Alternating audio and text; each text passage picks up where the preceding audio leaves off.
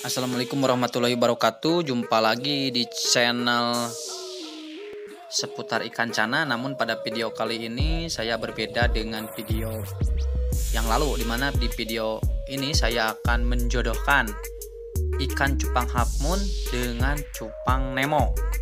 Plakat Nemo ya guys. Di mana kita telah mempersiapkan di sini ada garam ikan untuk mengurangi proses pembusukan ya. Mudah-mudahan si telurnya jadi semua. Pertama kita cairkan dulu si garam ikannya. Kalau misalkan tidak ada kalian bisa juga menggunakan garam dapur sedikit saja jangan terlalu banyak. Kita akan cairkan dulu supaya lebih merata. Jadi di sini saya tempatkan di kaca riben dengan lebar 25 cm panjangnya 40 cm kemudian tinggi 20 di mana tinggi air tidak semuanya. Tinggi air hanya dengan sekira-kira sekitar ya bisalah. Dengan 10 cm juga. Karena untuk memudahkan nanti proses pengambilan si telur dari betinanya. Diangkat tidak terlalu tinggi. Nah ini betinanya ya. Ini Nemo jenis Nemo.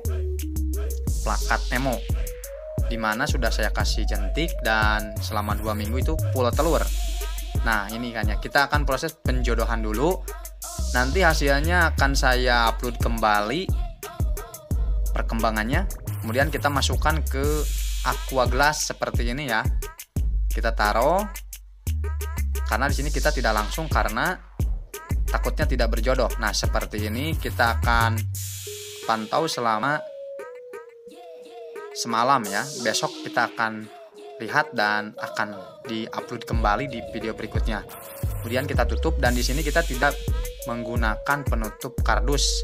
Cukup dengan kaca riben seperti ini. Terima kasih sudah menonton video ini dan semoga video ini bermanfaat. Ditekan dulu tombol like-nya jika video ini berguna.